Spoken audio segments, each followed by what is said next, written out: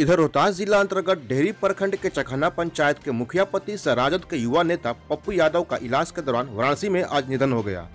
बता दें कि शनिवार की रात अपराधियों ने उनके घर के नज़दीक ही गोली मारकर घायल कर दिया था।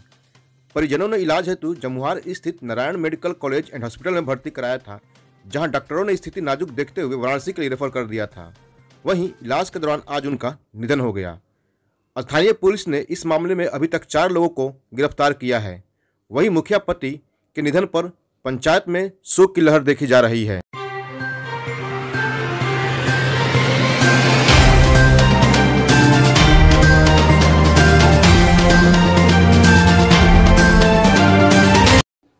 अपने ज़िले की तमाम खबरों को देखने के लिए आज हमारा YouTube चैनल सब्सक्राइब करें और बेल आइकन को दबाना न भूलें।